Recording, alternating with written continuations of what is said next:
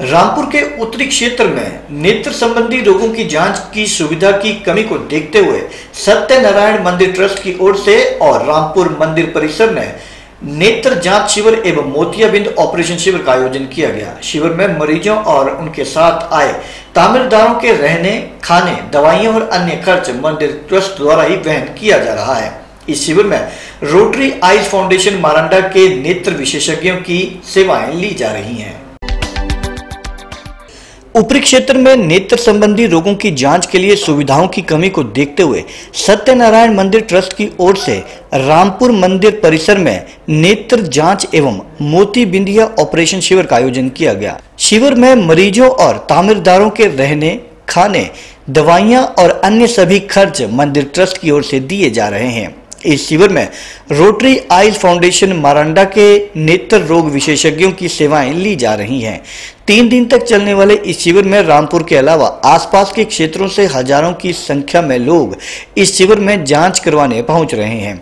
सत्यनारायण मंदिर ट्रस्ट की ओर से बताया गया कि इस तरह के शिविरों का आयोजन पिछले कई वर्षों से किया जा रहा है ताकि दूर दराज के इलाकों के ग्रामीण और गरीब लोग इसका लाभ ले सकें। उन्होंने बताया कि आँखों से संबंधित रोगों के चिकित्सकों की कमी है और गरीब व बुज़ुर्गों को इसके कारण कई बार मुश्किलों का सामना करना पड़ता है। लोगों की समस्या को देखते हुए ये कदम उठाया गया। रोशन चौधरी मंदिर ट्रस्ट के उपाध्यक्ष ने बताया कि इस तरह का शिविर पिछले आठ सालों से लगाया जा रहा है। इस दौरान दवाइयों से लेकर रहने व खाने के अलावा सभी खर्च मंदिर वहन करता है। उन्होंने बताया कि इस शिविर में हज़ारों लोग पहुँच रहे हैं।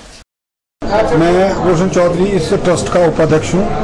हम कई वर्षों से यहाँ पर सत्यनारायण मंदिर की तरफ़ से एक धर्मा पे एक आई कैंप लगाते हैं, जो पिछले आठ वर्षों से चल रहा है। इसमें हज़ारों लोगों को लाभ हमने दिया है और फ्री ऑफ़ कॉस्ट है बिल्कुल, जिसमें पूरा इनका चेकअप से लेकर पीछे डेढ़ एक महीने तक की दवाइयाँ तक का फ्री होता है। खाना, पीना, रहना, उनके अटेंडेंट को भी हम अकोमोडेट करते हैं ताकि वो फिर अपने आराम से दें और आज तक जो भी ऑपरेशन हुए हैं, काफ़ी सक्सेसफुल रहे और उसका लाभ लोगों को मिला है।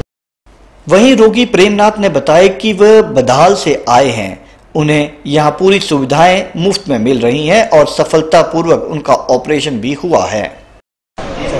मैं प्रेमनाथ शर्मा बदाल से आया हूँ। मेरी इस समय पचहत्तर साल की उम्र है। मैं आँखों का चेकअप करने के लिए सत्यनारायण मंदिर, रामपुर बुशहर में आया हूँ। मेरी देखभाल, मेरा खाना पीना बड़े अच्छे ढंग से हुआ। किसी मरीज़ को कोई परेशानी नहीं हुई। ना ही किसी प्रकार का कोई चार्ज लिया गया। सत्यनारायण मंदिर की तरफ़ से खाने पीने की सुविधा की बहुत ही सुविधा रही। इतनी मैं अभी तक देखी नहीं